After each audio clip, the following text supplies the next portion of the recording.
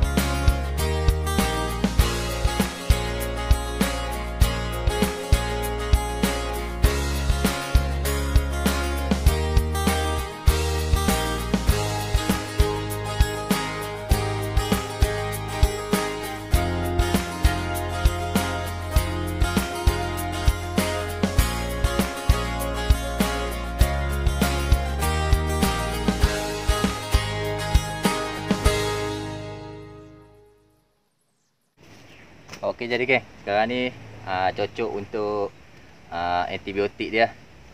Insya-Allah try lah.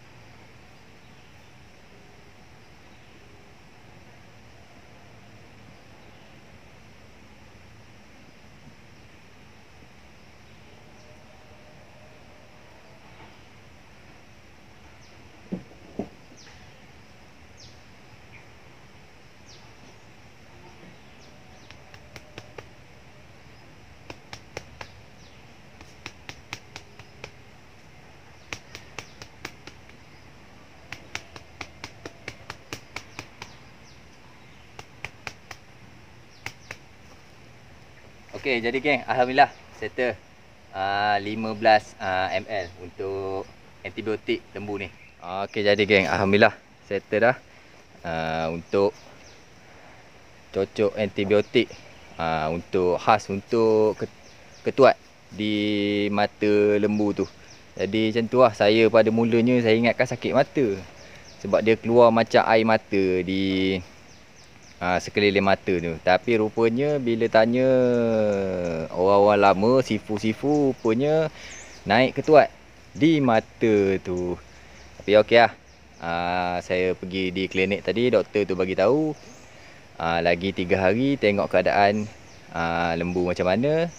Dan kalau masih lagi tak okey, ha, ambil lagi satu dos 15 ml sekali lagi cocok di uh, daging lembu. Jadi macam tu lah. Settle dah untuk petang ni. Okey, jadi geng, saya rasa cukup dulu video saya dalam episod kali ni. Video uh, santai-santai lah di mana saya uh, cuba ikhtiar uh, di ketuat di mata lembu tu. Uh, dia dah saya dah kesan dia punya sakit mata tu lebih kurang dalam seminggu. Pada mulanya saya ingatkan sakit mata, saya beli ubat.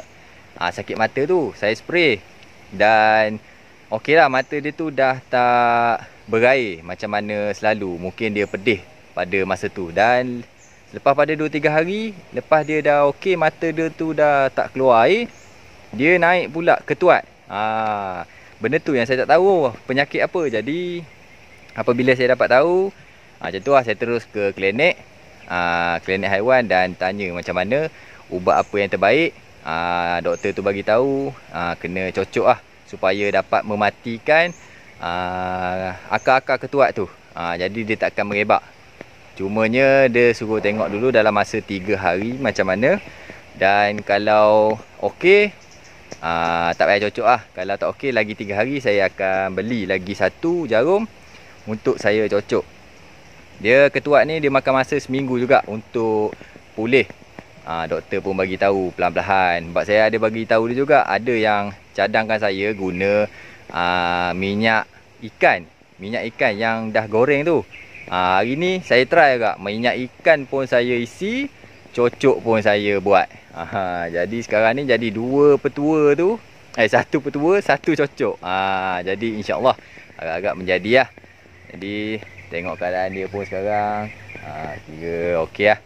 Kita tengok dulu 2-3 hari dulu macam mana Nanti saya update lain Okey jadi kan kepada korang yang tengok video ni sampai habis Saya ucapkan terima kasih banyak-banyak ha, Dan semoga kita sama-sama dimurahkan rezeki Dan ingat ada usaha, ada hasilnya. Jumpa di next episode geng. Salam Sansaka Biru Farm daripada saya. Assalamualaikum warahmatullahi wabarakatuh.